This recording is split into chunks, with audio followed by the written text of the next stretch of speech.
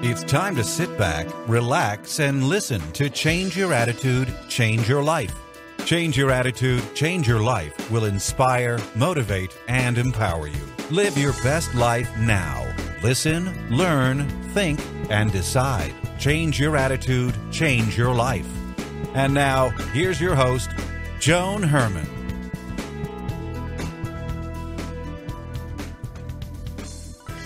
Welcome to Change Your Attitude, Change Your Life. You're listening to us in your neighborhood from coast to coast and around the world. Thanks for tuning in. I'm Joan Herrmann, author, speaker, and your host. Change Your Attitude, Change Your Life brings you interviews with some of the most inspirational and influential people in the world. It's our goal to educate and empower you so you can live your best life now. Thank you for taking time for yourself, and thank you for letting us be a part of your life. We have another great show for you today. Joining me is award winning ABC News anchor Dan Harris, who's here to talk about how he learned to quiet the voice inside his head so he could reduce stress and be happier while succeeding in an extremely competitive profession. Dan is co anchor of ABC News Nightline and co anchor for the weekend edition of Good Morning America. He contributes to 2020, World News with Diane Sawyer, and the weekday edition of GMA. He is the author of the book 10% Happier How I Tame the Voice in My Head, Reduced Stress Without Losing My Edge, and Found Self Help That Actually Works. Welcome, Dan. Thanks so much for joining us today. Thanks for having me. Dan, I'm happy that you're here. Your book addresses what the type A skeptics of the world believe. So you offer hope to the millions who are literally making themselves sick. Dan, you're a broadcast journalist at the top of your game. You've covered wars and presidential campaigns. Every day is a new competition for you to just stay in the game. So it makes sense that you'd be a wound tight, stressed out type A individual whose mind never stops.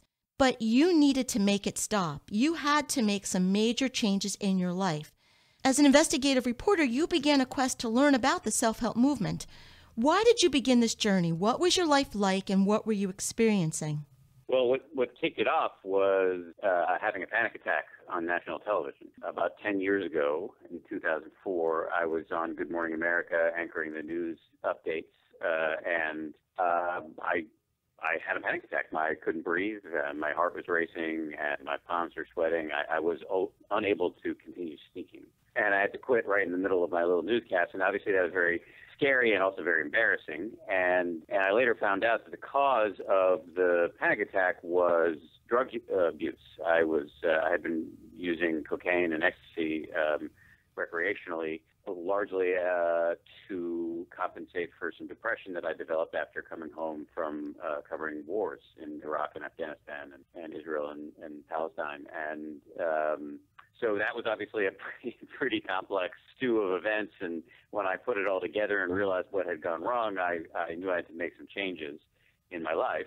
Interestingly, though, that was not enough to really set me on the road to getting my act together. It was there was another thing that happened that kind of kicked it off as well, which is that my boss at the time, Peter Jennings, assigned me to cover religion for ABC News. And I am not a religious guy. I was raised in a very secular environment. And I didn't want to do this beat at first, but as it turned out, it was a great thing for me. And, and as, a, as a consequence of uh, covering religion uh, and, and having had this panic attack, I ended up stumbling upon um, meditation, which I always thought was uniquely ridiculous, but it turned out to be very valuable for me. Well, you were a skeptic when you began this journey, and, and it's interesting that you said you thought it to be ridiculous because so many type A personalities think it is, you know, that hoo hooey type of thing for hippie culture. So, going in as a skeptic, what did you learn? Well, let me just say, first of all, I think it's completely natural for for people to be skeptical about meditation. It suffers from a huge PR problem, and the way it's talked about in our culture is really annoying. Um, and so most of us assume that that the only people who do meditation are hippies and weirdos and freaks and people who live in a yurt and are really into Cat Stevens and aromatherapy and ultimate frisbee. And uh, and that, and I understand why people feel that way because I certainly felt that way. Um, and I what's missing is people who uh, are out there talking about meditation without any of the unfortunate cultural baggage. So what I'm trying to do is to strip away the cultural baggage and talk about it simply for what it is. And what it is is simple brain exercise. And uh, and when I say simple, I mean it's really simple. It's not easy, but it's very simple, uncomplicated, secular, exercise for your brain, and there's an enormous amount of science that suggests that it can do extraordinary things for you, from lowering your blood pressure to boosting your immune system to literally rewiring key parts of your brain for happiness and compassion uh, and calm and well-being. And uh, so when I learned all of that, uh, that I didn't have to join a group or believe in anything or wear special outfits or sit in a funny position or anything like that, and that there was all of this science, that's what allowed me to jump in and give it a shot. Were you able to make it work in the beginning? I know you started with five excruciating minutes as you describe it. So, when someone wants to try this and the mind wanders all over the place, a lot of times people give up. So, what do you recommend to stay on the path? I would say the mind wandering all over the place is meditation. That is that. Is, it's like when somebody comes up. To, imagine if somebody came up to you at the gym and said, "I'm sweating and panting. I don't know if I'm if I can exercise." That is exercise, right? when you sit down and try to meditate, your mind is going to go berserk. But mm-hmm. that's the nature of the mind. Uh, if it was easy, you wouldn't have to meditate. If you were in naturally great shape all the time, you wouldn't have to work out. So uh, the point isn't to somehow stop thinking, which is impossible if unless you're dead or enlightened. The point is to learn how to have the grit to get lost and start again, and get lost and start again, and get lost and start again. And that, every time you do that, you're doing a bicep curl for your brain, and you are literally changing the, the, the connections in your brain when you try to focus on one thing at a time, usually your breath, and find that your mind goes crazy and you're thinking about what am I going to have for lunch? Why did I say that stupid thing to my boss? Um, and then you catch yourself and return your attention to your breath. Doing that over and over again breaks a lifetime of habit of walking around in a fog of projecting into the future or ruminating about the past, and it can change your entire life. Is it easy? Absolutely not. But when you go to the gym, and you should think about this like exercise for your brain, when you go to the gym, if it's easy, you're cheating. Same thing with meditation. So, Dan, once you began meditating, you actually completed a silent retreat. What was that like for someone who talks for a living, who, you know, words, that's your life? How were you able to survive 10 days of non talking? The not talking was not the hard part. Uh, there was nobody there that I really wanted to talk to anyway, and I'm I'm I don't know the the idea of being silent didn't scare me. What what scared me was meditating all day every day for 10 days in uh, like alongside like a pack of weirdos. So I I would very much did not want to do it. Uh, I was talked into it by some uh, meditation friends of mine, and also at that point I knew I was going to write this book, so it seemed like a might, might be a good thing to do for my research. I, I want to. I'll tell you more about it in just a second, but I want to add one caveat because I don't want your listeners to think that if they start meditating, the only way to do it right is to go off on a 10-day silent meditation retreat. Um, that that is not. I, I did this because I was at that point getting very very interested in meditation and wanted to write a book. But I think doing five minutes a day is enough. And uh, my whole game is to is to take away all of your excuses. And so I'm always on the lookout for any excuse that I, because your your mind the way the mind of your skeptical listener is going to work is they're just going to be constantly looking for ways to get out of this. Mm-hmm. Uh, and I, I'm I'm I'm in, throughout the course of this interview going to try to remove any excuses you might have. So having said all of that, the, the 10 days was miserable until it became unbelievable. And there's something about the nature of the mind where you if you sit and try to focus on one thing all day long, you will eventually get dragged kicking and screaming into the present moment in a really big way, where the mind slows down enough, the thinking slows down enough that you're really tasting your food and smelling the air and feeling the breeze and hearing the birds in the trees. And that is accompanied by a big blast of serotonin often. And so I had a period of time in the middle of that retreat that was probably the happiest moment of my life. Um, and then it went back to being hard again. Uh, but I absolutely think it was worth it, and I've gone off and done other retreats subsequently. So, Dan, why did you title your book 10% Happier? Is that a reasonable expectation? Yeah, I mean, obviously, I mean, largely it's a joke because mm-hmm. uh, you can't quantify happiness. Um, but I, I, did it for two reasons. One, um, I'm trying to counter program against the unrealistic uh, baloney, really, mm. that you hear in the self help world, where people tell you you can solve all of your problems through the power of positive thinking or whatever. So 10% happier, I, it's a joke, but it's kind of like a reasonable return on investment. And it's not, and my point is not that you know, I started meditating and all of a sudden my life is a nonstop parade of unicorns and rainbows. That's not the truth. However, I am happier, calmer, and nicer, and there's no there's no question about it. And my level of happiness increases all the time. It's like the 10% kind of compounds annually. Um, the other reason why I did it is because of this the PR problem that meditation has. And when I first started meditating, a lot of my very skeptical colleagues would say, "Why are you doing that? You know, like what's the matter with you?" It was almost like parenthetically they were asking, uh, "Have you joined a cult?" And so I, I didn't know how to handle that question because it's hard to defend meditation because it is, you know, so seemingly weird. Um, so I started saying, "Oh, you know, it makes me about 10% happier."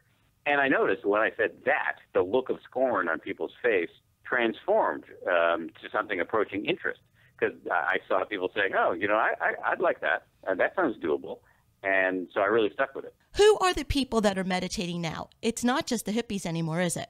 No, this is. But we're on the cusp of a big public health revolution. In in the 1940s, if you went, if you told somebody, you know, I'm going running, they would say, they would have said to you, uh, who's chasing you? You know, nobody went running. But then the science showed that um, exercise was really good for you. And so now we have health clubs on every corner. The same thing is starting to happen with meditation. And I predict that within 10, 15, 20 years, it's going to be just as socially acceptable and maybe just as common as physical exercise. And, and uh, so now we're seeing it being done in a big way in the corporate world. Uh, CEOs and executives are doing it, including at places like Procter and Gamble, Aetna, Twitter, uh, General Mills, Google. Um, we're also seeing elite athletes do it. Novak Djokovic, who just won Wimbledon, is a meditator. The Seahawks, who won the Super Bowl, they meditate.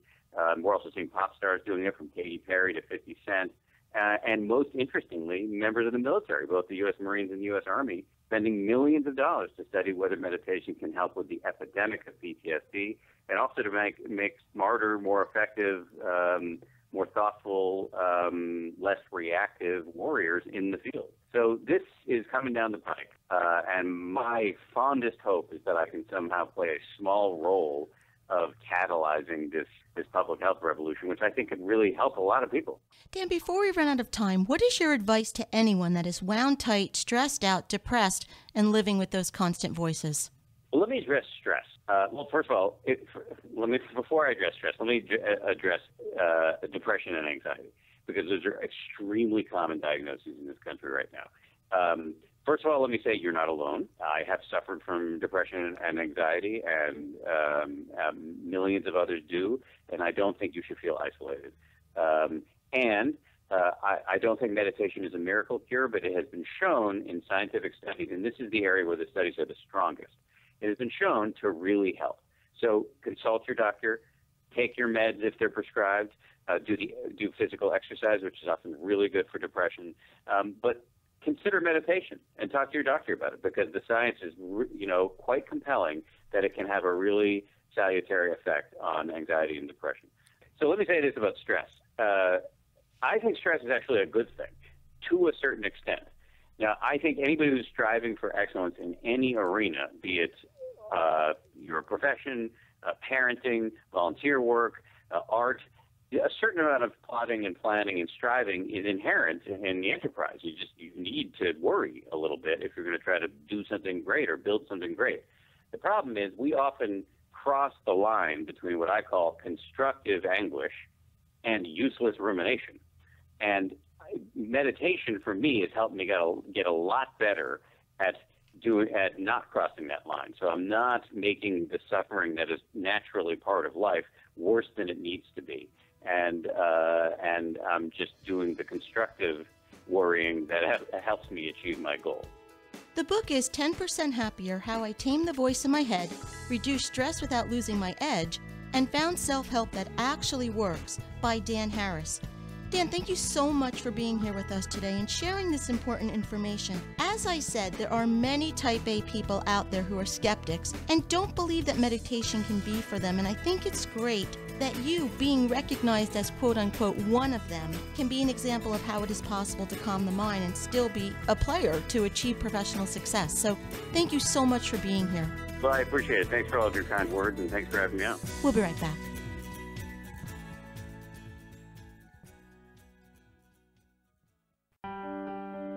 Hi, this is Joan Herrmann, host of Change Your Attitude, Change Your Life. Did you know that Change Your Attitude, Change Your Life has a free monthly digital magazine that can be read online or emailed to your inbox? Every month, nationally recognized leaders in their field provide information to educate, inspire, and motivate you. We believe in a holistic approach to life, incorporating mind, body, and spirit. Check out a copy of Change Your Attitude, Change Your Life 24 7 Visit cyacyl.com and be sure to tell your friends.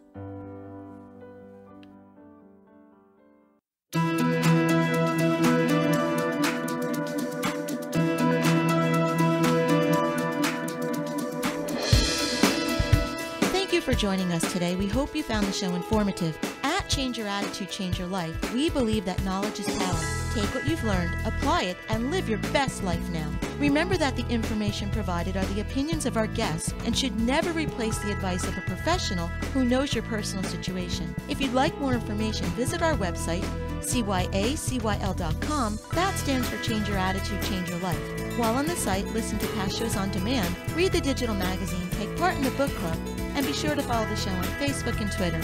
Until next time, this is Joan Herrmann. Thanks for tuning in.